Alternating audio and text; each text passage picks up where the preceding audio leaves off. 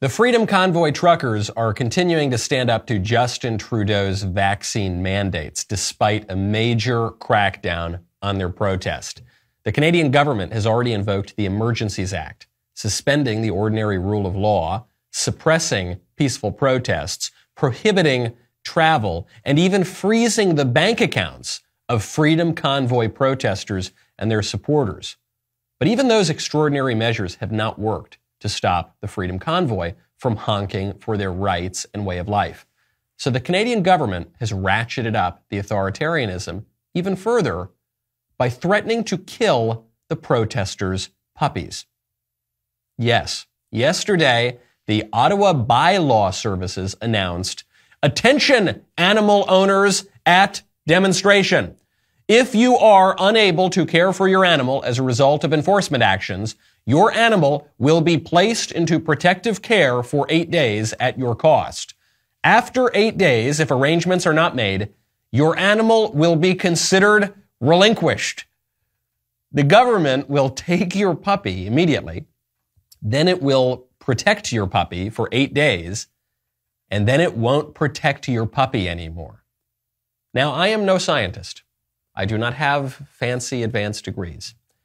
But I am having a hard time understanding how following the science and flattening the curve or whatever requires governments to suspend the rule of law, steal dissidents' money, and kill their pets. As we enter day 704 of 15 days to slow the spread, after two years of lies and incompetence every single step of the way, I'm beginning to think that this is not about science at all but rather about the arbitrary consolidation and exercise of power, which will never, ever end unless we exercise what little political power we have left and end it ourselves. I'm Michael Knowles. Is The Michael Knowles Show.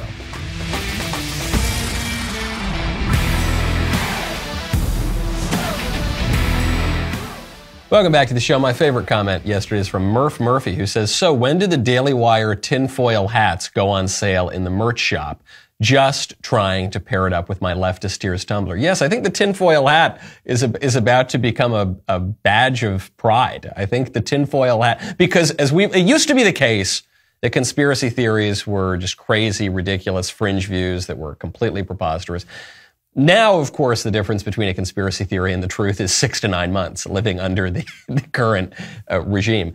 Uh, so I guess we're going to have to get them into the shop very, very soon. One thing we've got for you already that you should go pick up immediately is Ring.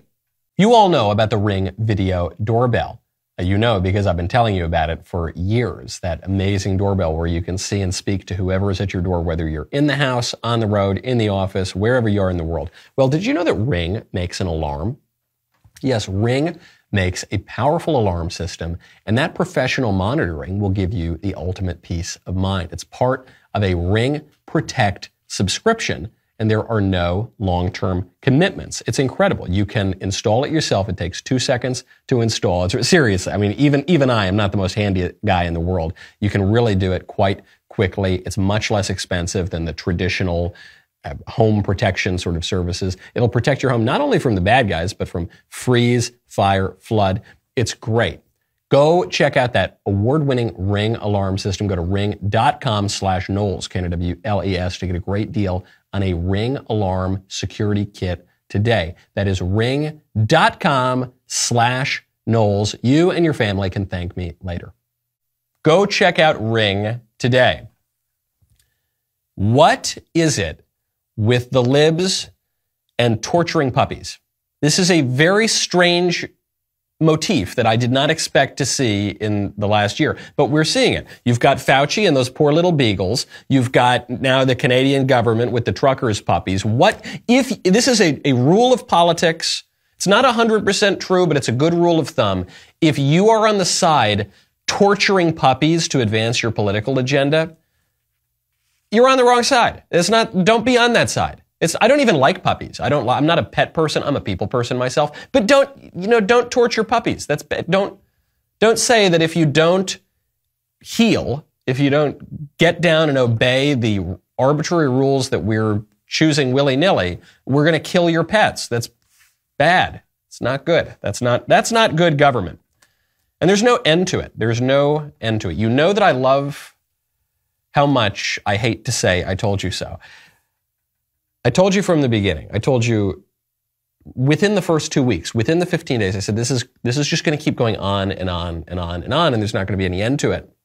So Dr. Fauci, now we are, this is day 704 of 15 days to slow the spread. Dr. Fauci was just on television. He was asked, so look, it's been a while, man. We've done the flattening and the slowing and the curing and the jabbing and the masking. We've kind of, we've done it all. We've done it all like four times each. So or when? When are we? What's the number? What's the, the number of cases or deaths or hospital or whatever? What's the number at which point this thing is over? And Dr. Fauci says, I don't know. Our country right now, at least, is still seeing about 147,000 new cases of COVID per day. But what would that threshold be in the future for you to say, okay, the pandemic has passed? You know, there's no magic number, but what you want is to make sure the trajectory keeps going down and down and down. And I think the important issue, and that relates to one of the questions you asked before about the CDC considering giving more precise metrics for decision making, that concentrating more on what the rate of severe disease and hospitalization is will determine that. We don't know what that number is yet, but that will be much more of a determinant than the rate of infection. There's no magic number. There's no, ma- I didn't ask for a magic number. I asked for a scientific number. You're the scientist. You're the guy who's saying we need to follow the science and the science is going to dictate what happens and the science is precise and the science can be relied upon. So give me a scientific number, buddy. I don't want a magic number. But what Fauci is admitting here is what we have said from the very beginning, which is that you can't follow the science. First of all, what is the science? Capital T, capital S, trademark over the E. Second of all, the science is always changing because when you're talking, especially about something like epidemiology, when you're talking about public health, which is an extremely political scientific endeavor, there's not going to be a precise number because it, it requires weighing different social costs and benefits. And it requires governing yourself. And at least formerly in this country, that involved the input of the people making their own decisions. But he's saying, look, this, we don't know, there's no magic number, and uh, we want the number to keep going down. Right, well, it's going to go down. Here's what's going to happen forever. The number is going to go down, then it's going to go up a little bit again, then it's going to go down again, then it's going to go up, and then it's going to go down, and that's how it's just going to be indefinitely. That's what happens with the flu. That's what happens with all endemic illnesses. That's why, that's why we have flu season. That's why we have seasons because it goes down and then the season comes and it goes up again. And then we're just going to be locked down like this forever if we follow this schmuck. You, you can't, even given all of that, he should be able to give us a number, right? This is an amazing statement he makes. He says, uh, I think the important issue relates to the questions you asked before, giving more precise metrics for decision making. That concentrating more on what the rate of severe disease and hospitalization is will determine that. We don't know what that number is yet, but that will be much more of a determinant. Why don't you know what the number is yet? What? You, you really saw this when it came to the herd immunity vaccination rates. Dr. Fauci kept changing the numbers that would be required for herd immunity. First, he said, ah, about 60%, 60, 70%. Then he said, ah, it's more like 70, 75%. Then he said, ah, more like 75, 80, 85%. You, that number should never change. You don't, you don't need to be in it to know what that number is. You don't need to achieve that number to know what the number should be. You should, you just should know what the number is that you're aiming at, and then you achieve it, and then you're good. But what Fauci admitted on the vaccination rates is no, we just want to nudge people. We just want this to go on forever. So we're going to nudge it up and up and up and up and up until we get to 100%. Well, that's what he's doing here. Yeah, we're going to, yeah, we're going to nudge it. We're going to, fi- don't worry. Trust me. Don't, I'll get back to you. Don't worry. We'll give you the magic number. And they're giddy about this. Fauci is giddy. He's having the time of his freaking life because he's never had more power. He's never had more fame. He's never had more influence and he doesn't want to give it up. And the minute COVID's over, he's going to lose all of that. Well, he'll get to keep his money but he's going to lose the notoriety and he's certainly going to lose the political power. And so he wants it to go on forever. You're seeing this in Canada too.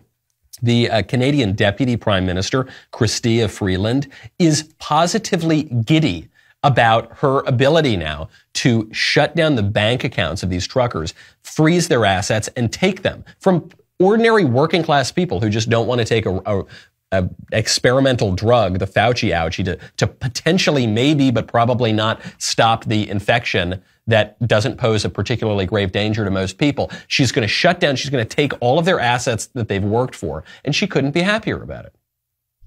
So you're confirming that accounts have been frozen, both personal and corporate, but you're not releasing the information. And the actual follow up is um, I'm just wondering whether the bank accounts will be targeted of individuals who donated to the GiveSendGo and the GoFundMe campaigns. Are they considered designated people under the Emergencies Act, meaning that their credit cards could be cut and financial services are targeting them as well? Okay, so the names of both individuals and entities as well as crypto wallets have been shared by the RCMP with financial institutions, and accounts have been frozen, and more accounts will be frozen. when she's answered, this is the follow up to that question. And you can hear at the very beginning of that follow up, oh, yes, we have. Oh, you know we have. Oh, yeah, those truckers, we've totally taken their money. Uh-huh, we're sharing it with the financial institutions. Mm. You should, maybe you shouldn't have questioned the government. Maybe, maybe you shouldn't have protested. She's drunk with power. Fauci's drunk with power. Trudeau is drunk with power. The, the ruling class in the bureaucracy and in the elected government, they are drunk with power. But that's not the whole story.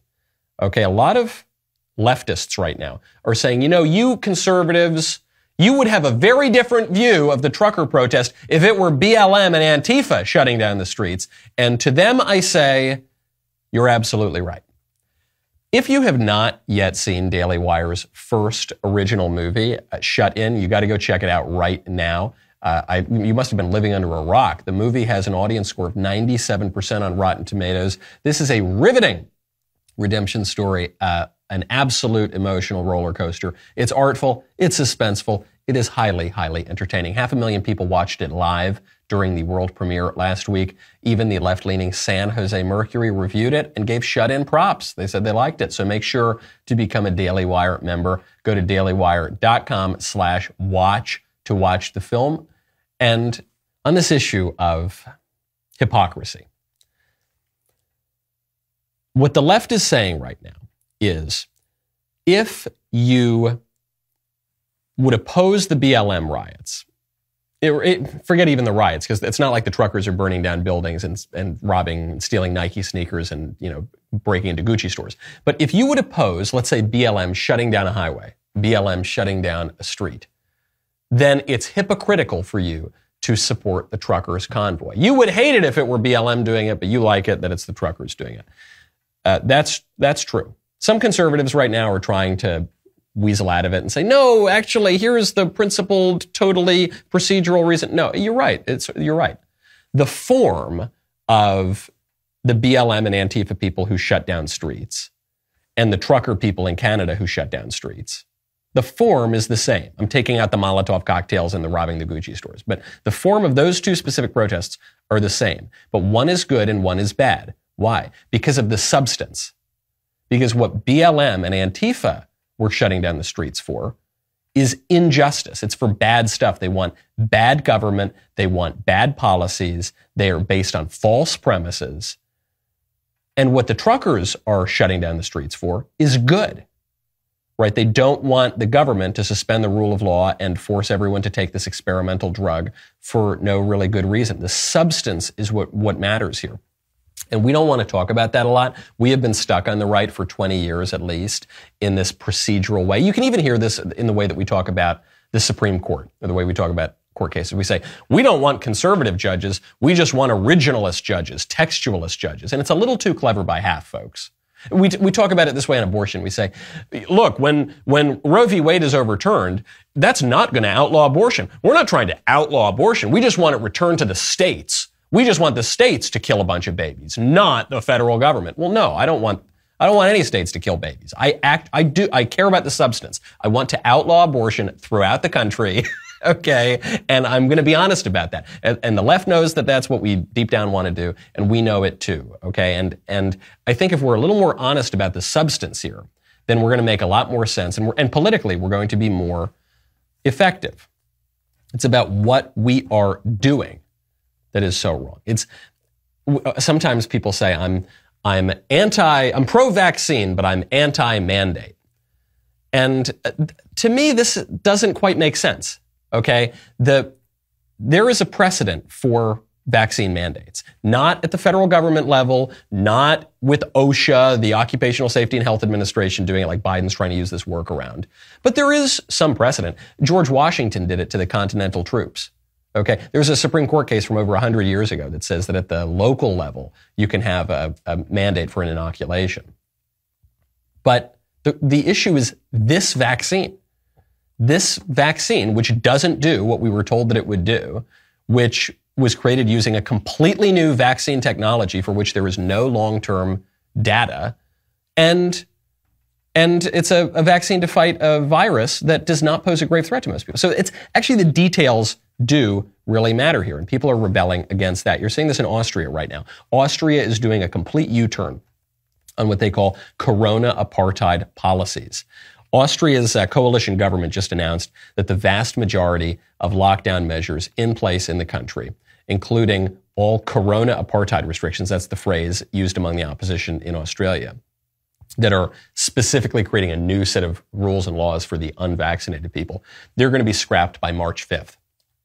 Right? You just got to fight back. You just, you have to go in and realize that this whole follow the science thing has always been completely fake. It's always been propaganda by our ruling political class to keep us going like this forever and to perpetually take more and more and more of our rights and way of life away. And in some cases, our money, and in some cases, our freaking puppies they're going to go take and kill. Don't let them do it. Just stand up and say no, like they're doing in Austria. You're seeing this now in the Senate. Ted Cruz, my pal, Ted Cruz, is now filing an amendment in the U.S. Senate to defund schools that mandate that kids get the COVID vaccine.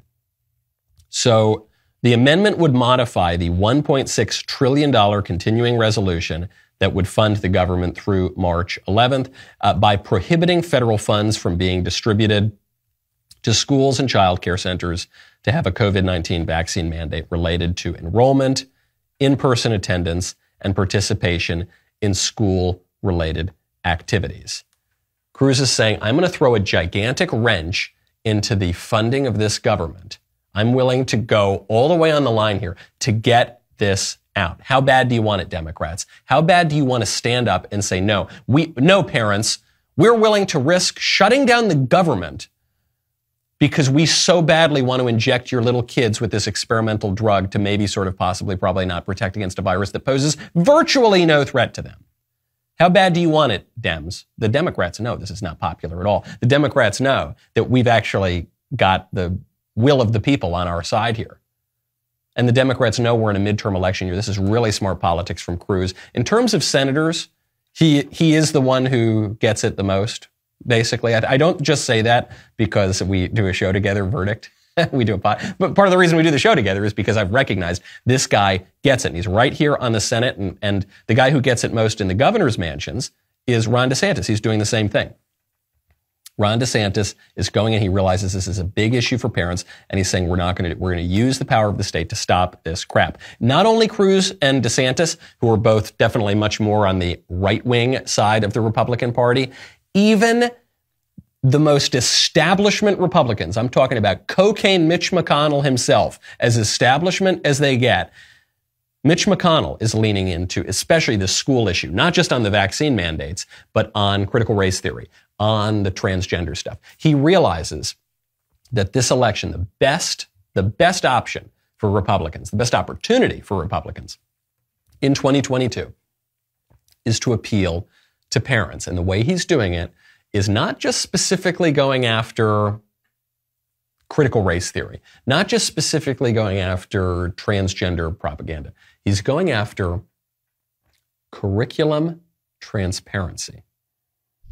The far left is admitting in public that if the public gets to look at the racial and gender theories that they want to teach little kids, then those lesson plans will become untenable. I'm going to say that again. The far left is admitting in public that if the public gets to look at the racial and gender theories that they want to teach little kids, then these lesson plans will become untenable. That's what they're actually saying. If parents gain transparency into the crazy stuff we're teaching, we might, uh, might have to stop teaching it. In other words, their reaction proves the point. The fact that woke bureaucrats are this terrified by transparency proves exactly, exactly why parents deserve it. Absolutely brilliant. This is the way to do it. All we're saying, because we live in a culture now that loves openness and transparency and that they value these things above, above most other virtues. Okay, let's use it against the libs. Okay, because now the libs are on the side against transparency and conservatives are on the side for transparency. And the libs don't want transparency because they know that the minute parents see what their kids are actually being taught in these schools, they're going to lose their minds, rightly so. Because they're saying, I don't want my kid having his head filled with this ideological poison. Do you know how potent this political issue is? Just yesterday, we saw three San Francisco school board members ousted for being too far to the left over these issues. San Francisco. San Francisco, about as lib as they get. By a 70% vote, these far progressive leftist school board members got ousted. And the board president, I'm sorry, the former board president, Gabriela Lopez, what did she blame it on? white supremacy. She says, if you fight for racial justice, this is the consequence. Don't be mistaken. White supremacists are enjoying this, and the support of the recall is aligned with this. You know, San Francisco, that city famously teeming with white supremacists. San Francisco, 70% of the voters in San Fran freaking Cisco are white supremacists Ku Klux Klan members. That's the only explanation for why they don't want these sick weirdo perverts to try to trans the kids. That's the only explanation, right? Except no, there's not one single white supremacist in San Francisco. There's, it's not that's just white supremacy. It put that away with the Easter Bunny and the Tooth Fairy. It does not exist. It is not real. It is the last desperate gasp of Democrats who recognize that the jig is up. That's what's going on. And they're going to try to use it in 2022. But if this school board election in San Francisco is any indication, conservatives, parents, ordinary people of all stripes are in very good shape. Now, this uh, this this issue of the racial white supremacy, black supremacy, I don't know, whatever. Uh, this issue is ginning up. Okay, I, there's no Ku Klux Klansmen. There are no white supremacists running running mayhem all over the country. It is not the case, as LeBron James says, that the every time a black man leaves his home, he's being hunted down. I think LeBron is doing just fine. Okay, you are seeing a rise, though, in identitarian politics, and you're seeing it not just from some kooks on a blog or yelling in the streets. You're seeing this from elected Democrats. Eric Adams, Eric Adams, the mayor of New York, uh, has has just come out and threatened to stop taking questions from white reporters. I'm a black man. That's the mayor. But my story has been interpreted by people that don't look like me. We got to be honest about that. How many blacks are in the editorial boards? How many blacks are determining how these stories are being written? How many Asians? How many East Indians? How many South Asians? Everybody talks about my government being diversified. What's the diversification in the newsrooms? Diversify your newsroom so I can look out and see people that look like me. And if this is how this is going to be, then I'm just going to come in do my announcements and bounce. I'm not going to, why am I even answering these questions? And it happens over and over and over again. It, it happens over and over and over again. You people keep asking me tough questions, and so I'm going to stop taking them, and I'm going to blame it on racism because I got nothing. Because I got nothing. And because of your terrible racism, I'm not. I'm going to totally stop taking any questions from Whitey. Uh, hold on. Who's doing Who's doing the racism, Mayor Adams? Which one? By the way, er, Eric Adams, when he ran for mayor, was one of the clips that went viral from his campaign is that he was openly bragging about how he loved to beat out Whitey, how he loved to beat out those crackers in the police department. Every day in the police department, I kicked those crackers' ass, man. I was unbelievable in the police department when you keep 100 black law enforcement. Came a sergeant, a lieutenant, and a captain. You know the story. Some people all of a sudden trying to reinvent me. But the reality is, what I was then is who I am now. Okay, so uh, Eric Adams doesn't have a whole lot of credibility here to be talking about racism or whatever. But it's it's always what they do, and and and the the Democrats do it because they've got nothing else, and so they're they're willing to do it even in the most extreme circumstances, even in San Francisco. There was a woman called into uh, to David Webb's show once, his radio show. Uh, she called in, and David Webb is a conservative, and she was a liberal, and she was arguing with him, and eventually she completely lost the argument. And she said, "Well, you're only saying that because of your white privilege." Now, if you know David Webb, you know that uh, whatever virtues uh, he possesses, white privilege is not one of them. David Webb, very much a black man, but she didn't know that it was a radio show, and so he starts laughing. He says, "Lady, I know you're you're pulling the card that you guys always pull, but it's not going to work on me." because you, you didn't even do your, the most basic level of homework to know who it is that you're talking to. And so that's what Eric Adams is doing because Eric Adams is a, is just a dummy and an incompetent and he can't govern New York apparently any better than the Bolshevik that he replaced. And there were people who said, look, Eric Adams, he was a cop. He's like a little bit more normal than, than Bill de Blasio. Maybe things will get better. It's not getting better at all. And he, he's, he's actually so incompetent that he can't even answer basic questions from mostly sympathetic reporters. And so he's saying, all right, I'm going to stop answering questions from, from you entirely. I'm going to come in, give my announcements and go and run away. And I'm going to, I'm going to make jokes about the crackers and, and the white reporters. Not exactly Martin Luther King kind of stuff, right? And, and not exactly persuasive either. The reason that the civil rights movement of the 1960s was very persuasive to a lot of people and remains very persuasive, at least in theory to a lot of people, is because it co-opted patriotic language. The reason it worked is because Martin Luther King didn't come out and say, man, this country is terrible. It's horrible to black people. The founding fathers are big jerks. I hate it. We're going to have a new country now. I hate America's awful. He didn't do that. He did exactly the opposite. He said, America's got to live up to her ideals. America's got to live up to her creed. Jefferson and Washington and Adams, they would have loved me and they would have loved my political supporters. And you've all got to get on board too. And it's extremely, extremely persuasive. And then basically before Martin Luther King's body was cold, they got rid of all of that on the left and they, they embraced a much more aggressive anti-American form of of activism. And, and it doesn't really work. I mean, it's, it's turning off a lot of people, and this is why the Democrats look like they're about to get blown out in 2022. The only people that that kind of aggressive, anti American language convinces are, well, some radicals of all stripes and colors, but especially white liberals.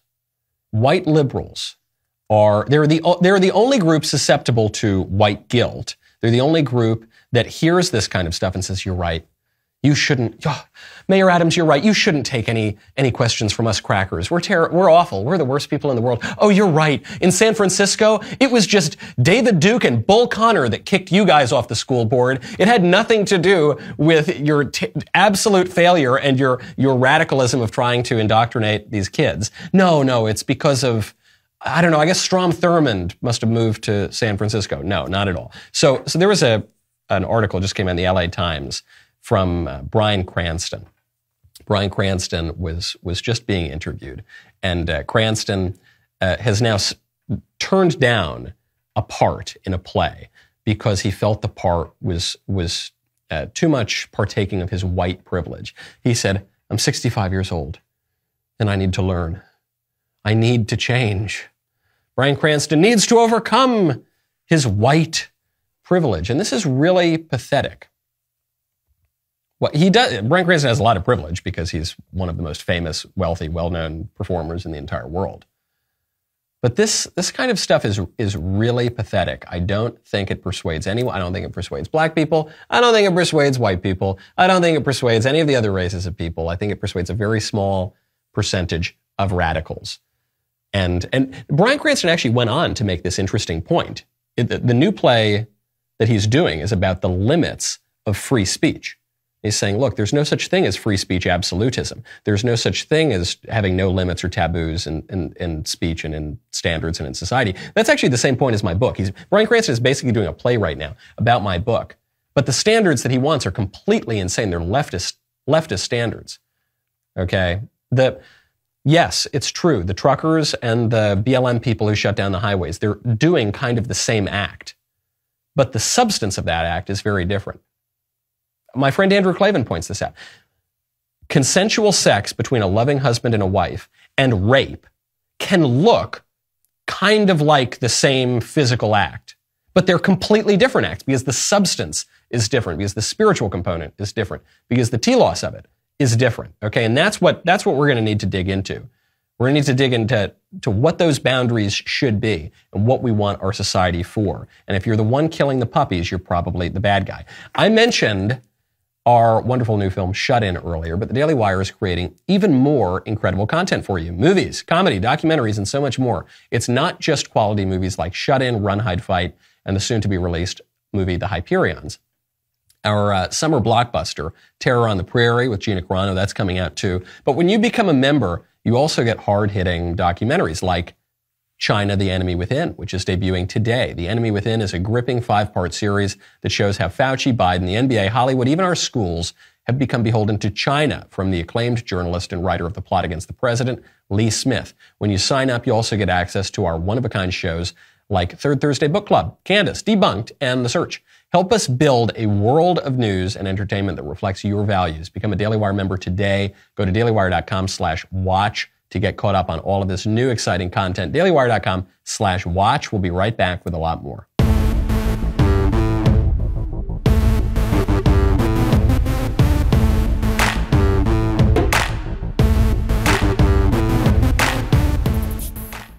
Welcome back to the show. My favorite part of the week when we get to hear from you in the mailbag. First question up from Gabe. Hey, Michael. Me and my current girlfriend have been on and off for the past two years. We have a child, a beautiful baby girl. She got pregnant within a month of us knowing each other. She has struggled with substance abuse, specifically alcohol, having to go to rehab for it because of two DUIs in about a, a month's time.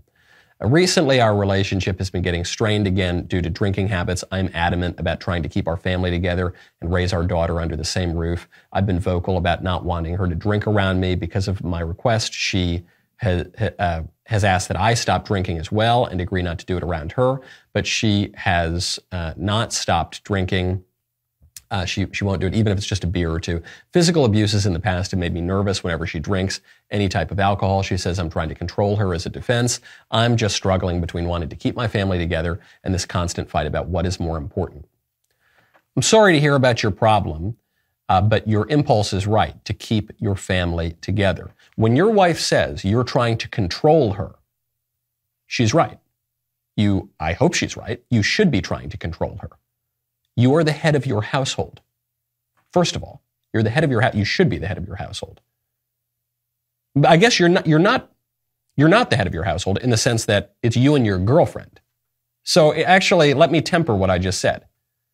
If she were your wife, you would be the head of your household, but she's not your wife, she's your girlfriend. So one, you should get married. She has problems, you have problems, everybody's got problems. You should get married. You have a child together. Get married. Then you're the head of your household. You want to control, your wife says you're trying to control her. Yes, she should be controlled. She's got a big problem and you can help her with that problem. And it's your responsibility to help her with that problem. Now, one way that she says you could help her is by you stop drinking entirely. But you don't have an alcohol problem. She does. So why should you stop drinking? Well, because if that's going to be the way to solve this problem in your family, then that's just what you're going to have to do. And you're going to have to make that sacrifice. And she won't uphold her end of the bargain. Well, you're going to have to try to find ways to make her uphold her end of the bargain. But you certainly should uphold your end of the bargain. And it's not even just a, okay, I'll stop drinking around you. If, if what is required is that you just stop drinking, well, then that's the way it goes, pal. That's what, that's what you're going to have to do. And that's going to give you a lot more credibility when you say, look, I am doing this. It can be done and you need to do it too. And I'm the head of this family and you're asking me for help and I'm willing to give the help, but th- that's the way that it's going to go. Or should you just break up? You should not break up. This is going to be a slight digression, but it's related. And it's re- it is the issue that is occupying my mind right now much more than the Russian invasion of Ukraine. Okay. Much more than many other issues in the country. Kim and Kanye.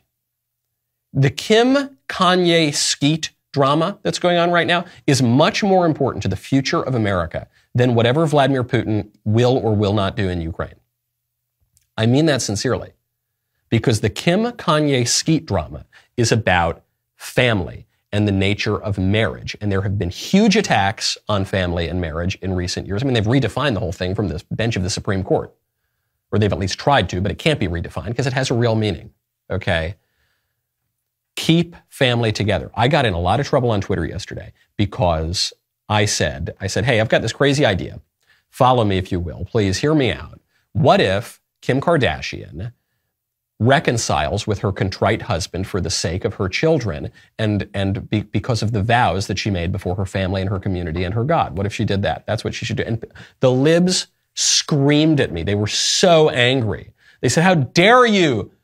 Kanye's an abuser. First of all, I don't, are, I don't, I haven't heard any allegations that Kanye is like beating his wife or anything. I think that term is being used as a complete excuse. It's being defined out of reality as a way to justify divorce, which the left has been after for a long time. But divorce is really, really bad, okay? And keeping a family together is good. There are some cases, I grant you, there are some cases, if a woman is a punching bag, like a literal punching bag for there are some cases in which a separation, is uh, not only prudent, but probably necessary, morally necessary.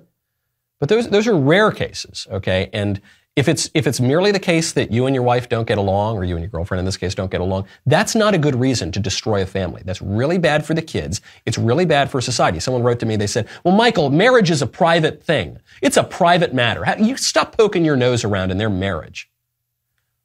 Whatever marriage is, it is not a private matter. Marriage is very, very much a public matter. That's why you invite all your family to the wedding. And that's why you make vows in public with a minister there before the government and before the ultimate government, by the way, before God. That's why you register with the civil authority. That's why you sign a contract.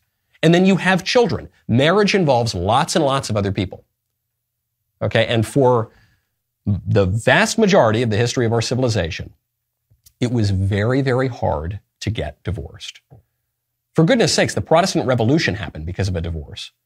You had Luther, you had some things going on in the continent, but the Protestant Revolution really took off because the King of England wanted to divorce his wife and the Pope wouldn't let him because he said, you gotta keep your marriage together. You can't, it would, it would destroy the faith. You're supposed to be a defender of the faith and it would be so scandalous. And it was scandalous and it destroyed England. That sort of thing is very, very important. The family is the ultimate building block. The, ba- the, sorry, the basic building block of society. If you destroy that, your society falls apart. Which is why Kim should take her contrite husband back and stop screwing around with Skete. And it's why you should uh, marry your girlfriend, first of all, and then you should do your best as a loving husband to uh, help your wife through this process. Long answer to a very good question, but it's, a, it's an important question. From Drew Dear Michael, I know that you're a fan of conservatives in power actually using their power for conservative purposes. I agree with you that the role of governing authorities is to actually govern. Many conservatives are split in regard to Hungarian Prime Minister Viktor Orban. Conservatives like Rod Dreher see his pro-family and anti-LGBT education policies as a model for conservatives in the U.S. And other conservatives say he has authoritarian tendencies and is illiberal yeah, okay. Well, you know, I'm a conservative, so first thing I go for is is not to protect the liberals, right? That, that doesn't make a lot of sense. I know some people do, but that's not what I do. Uh, what are your thoughts on Orban and should American conservatives support him? I suppose I've already given my answer. Orban is doing a good job. He's a politician. All politicians have lots of problems, but Orban is doing a really good job. I'll show you an example, uh, almost a unique example of how Orban is doing a good job. Certainly unique in Europe. Europe has a dying population, and America has a dying population. This is, I mean, I, I mean that very literally. The, there are fewer and fewer people being born. We're not replacing ourselves. The, the most basic requirement of a civilization, we're not fulfilling that and haven't been for decades. Orban turned it around. Orban turned around the declining birth rates in Hungary. Orban answered a lot of the immigration problems that are bedeviling the rest of the West. Orban turned that around. So people are trying to call him a fascist or something. It's just completely ridiculous. He's doing a good job, generally speaking, and uh, yeah, we should learn from him.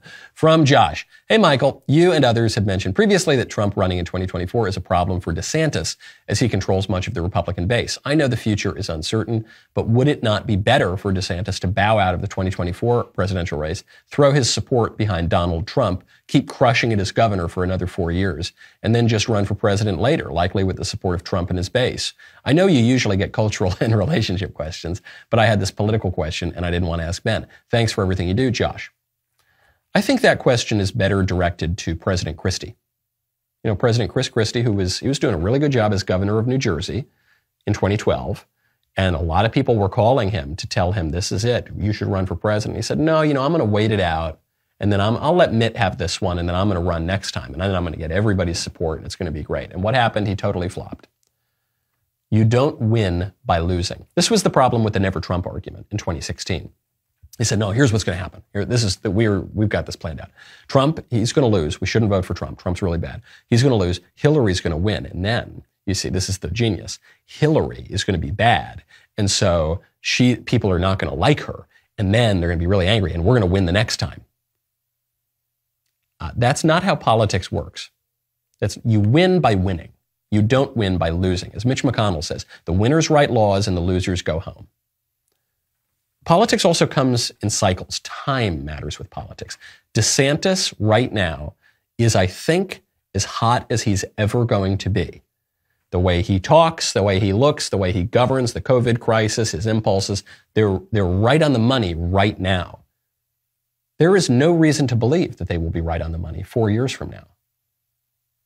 And even politicians who don't win the first time who, for president, who almost no one wins the first time other than Donald Trump. Donald Trump is the one guy who the first time he runs for office becomes the president of the United States. But otherwise it doesn't happen.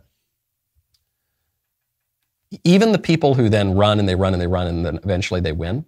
I'm thinking of Ronald Reagan, right? Ronald Reagan made moves to run in 68, then he runs in 76, then he finally wins in 80 he's in it. He's in the fight. He's not just saying, "Hey, Gerald Ford, you have it this time," and then, uh, "Hey, you guys have it this." Hey, Richard Nixon, that's cool, whatever. Then I'm going to get it later. No, he was always in the. Fight. He was at least making moves to run, and then he do, does run against Gerald Ford, and then he and then he wins in 1980. I think if DeSantis wants to be president, I think he's got to run.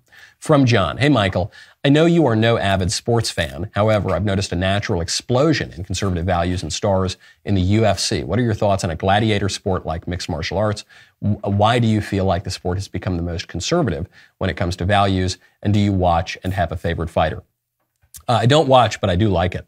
I do like it because I like boxing. Boxing has also always been a pretty conservative sport. A friend of mine, friend of mine from a cigar bar in New York of many years, was a heavyweight boxer, a pretty well-known heavyweight boxer, and uh, I we had been friends for a while before I realized he was a Republican. And he said, "Oh yeah, my, man, boxers, they're almost all Republicans. I don't know. It's just it's kind of a conservative sport. You see it a little bit with baseball. Baseball is a pretty right-wing sport. You don't see it with uh, basketball. You don't see it. Certainly, you don't see it with football. So di- different sports are are the politics varies. Why is that? Well, uh, boxing is a beautiful sport, right? It's this be- it uses your whole body. It's very artful. We think of it as just bludgeoning people to death, but there's actually a great deal of beauty to it, a great deal of finesse, a great deal of strategy. And I guess mixed martial arts turns that up to 11. It's more violent, I guess, in that way. Uh, but I think that might have something to do with it. It's also uh, what was that line from from Iron Man, the uh, Robert Downey Jr., who had all those problems in the 90s and 2000s. He went to jail. And when he was asked how he became politically sort of conservative, he said, it's very hard to, uh, to you know, go into jail, to go into these very aggressive, violent environments and come out a liberal. What's the line from Mike Tyson? Everybody's got a plan until he gets punched in the face. I think that, I think that ballast of reality is probably why, uh, why you see that as well. From Verinder, dear Michael, uh, you say you do very little exercise. You enjoy culinary delights. How do you keep yourself in good shape? Good genes, my friend. That's how. No, the actual way, because I, I very rarely exercise. The only thing that even gets me to consider exercising is my Echelon bicycle because it's in my house, so I can't. It's not like I'm going to go to the gym or something like that. Uh, the actual thing that keeps me in shape is moderation because while I love my good Italian pastas and my hoagies and all this stuff, I do try to keep it in moderation. Okay, I do try to not have the seventh bowl of pasta. All right, I do try to I try to make sure. Look, the camera adds 10 pounds. All right, I got I got to keep it svelte. All right, I got to keep doing. Maybe I'll do a little exercise every now and again. But moderation is a virtue. People think that we conservatives are to the right of Genghis Khan, and therefore we're not moderate. But actually, that we're moderate as well. I don't think that the libs and the squishes and the centrists, I don't think they have a great sense of moderation. From Jonathan, last question. Michael, over the past several months, I've gotten romantically involved with a fellow coworker. We share the same values and enjoy each other's company. Everything's great aside from two caveats. She's 10 years older than me and has been married once. I'm 24. She does not have children. I like her, but I wonder if I should uh, be concerned about the age difference or the fact that she's been married once before. So far, it's not been an issue. Thank you for your time. Depends what you want, my friend you know, you'd have to, especially if you're Catholic, you'd have to figure out the nature of that. Was that first marriage a legitimate marriage, illicit marriage, or was it not? If it, if it was, then you can't get married. If it wasn't, then, you know, I, I guess you could. But it also depends on what you want. If you want to have a lot of kids, then that's probably not going to work. I, I've, I've seen it work. I have friends who, who are married to women who are 10 years older than them, and it works out fine, and it, it's a wonderful arrangement. Uh, but, but this, there's not going to be a hard and fast rule here. You do have to ask yourself, what is it that you want? How do you see marriage? frankly, it gets a little bit to the Kim and Kanye question. It gets to a big, broad political question too, which is what are we all doing here together? Uh, I'm sorry that I'm not giving you a direct answer on date this woman or don't date this woman. I don't know the details, so I can't I can't really give you a hard and fast answer. But what I do know is that uh, we we need to answer those questions if we're going to uh, move forward in our big, broad political culture, in our local communities, and in that basic political institution, the family. We're lost in a sea of relativism right now. Nobody has any idea what the hell we're doing or what any of it's for. So it's just a, a brute battle of power and interest. And uh, what we're going to need to do is uh, apply a little bit of logic to that and get back to some sense of what is it that we want. And that's how we're going to get back to society, open up the restaurants, go back to school, stop transing the kids, and stop killing the puppies. I'm Michael Knowles. This is The Michael Knowles Show. See you Monday.